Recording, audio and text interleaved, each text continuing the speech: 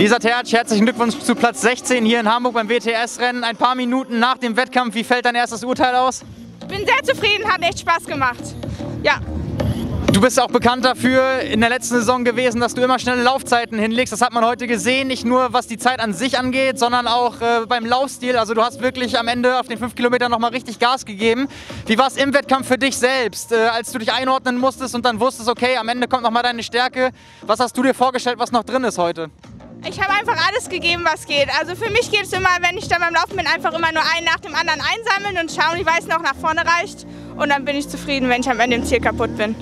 Was war vor dem Wettkampf so deine Einstellung? Äh, wo hast du dich gesehen nach den ganzen Monaten ohne Vergleiche, ohne Wettkämpfe im, im Schwimmen? Wo hast du gedacht, dass du ungefähr rauskommst und dann landen kannst? Äh, ich habe schon mit der zweiten Radgruppe gerechnet. Also die erste ist derzeit noch ein bisschen schwer für mich, denke ich. Aber mit der zweiten Gruppe war ich echt zufrieden und dann wollte ich einfach schauen, wie weit es noch beim Laufen nach vorne geht. Es kommt dann natürlich mal auf den Abstand zur ersten Radgruppe an, aber war gut.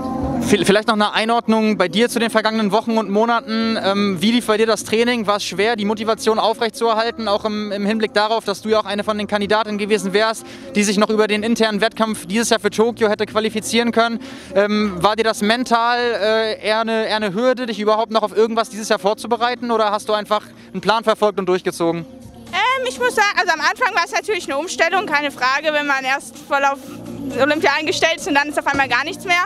Aber da muss ich sagen, ging es eigentlich ganz gut, weil ich das Ganze langfristig machen möchte. Also 2024 ist für mich definitiv auch ein Ziel und deswegen habe ich gesagt, ich nutze es einfach als Lernjahr und trainiere weiter und schaue, was einfach noch passiert. Und jetzt war ja zum Glück noch ein Wettkampf.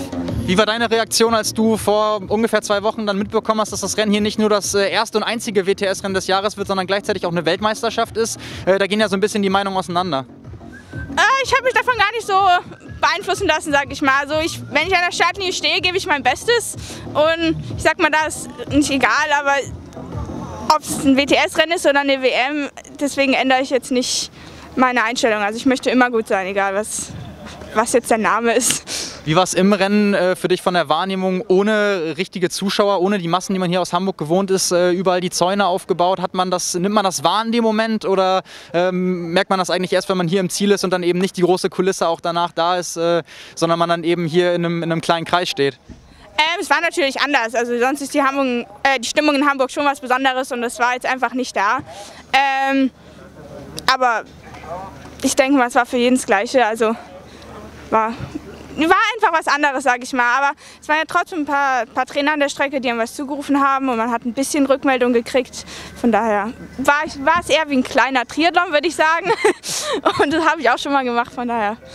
Wie geht es in den kommenden Wochen und Monaten noch für dich weiter jetzt? Ähm, ich werde nächstes Wochenende noch in Carlo Vivari starten und dann muss ich mal weiterschauen. Ich studiere nebenbei noch in Harvard und da muss ich einfach schauen, wie sich das so kombinieren lässt. Ähm, derzeit ist es halt alles online und das lässt sich besser mit dem Sport kombinieren, aber da fehlt natürlich ein bisschen die Erfahrung, sage ich mal. Deswegen muss ich einfach mal gucken, wie es läuft.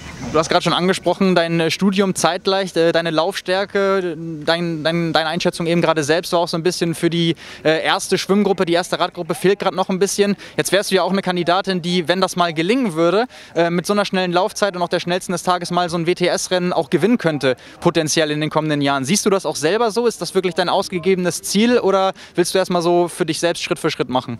Ähm, ich werde Schritt für Schritt meinen mein Weg gehen, sag ich mal, und schauen, wo das endet. Aber also ich will es jetzt nicht ausgeben, oh, ich will unbedingt in der WTS den ersten Platz belegen, aber ich habe mich schon in den letzten Jahren immer noch ein Schrittchen nach vorne gearbeitet, noch ein Schrittchen, noch ein Schrittchen und wenn ich so weitermache, ich bin erst 21, also ich habe noch zehn Jahre, um meine Bestform zu erreichen. Von daher, ich bin positiv und ich denke auch, besonders beim Schwimmen ist bei mir noch einiges drin. Also da ist derzeit noch, noch viel Luft nach oben. Da sage ich nicht, oh, da habe ich schon alles getan, ich weiß überhaupt nicht mehr, wie ich besser werden soll, sondern da werde ich weiterhin dran arbeiten und ich habe schon ein paar Ideen, wie ich daran arbeiten kann und dann Schauen wir mal, wie es nächstes Jahr wird. Lasst euch überraschen.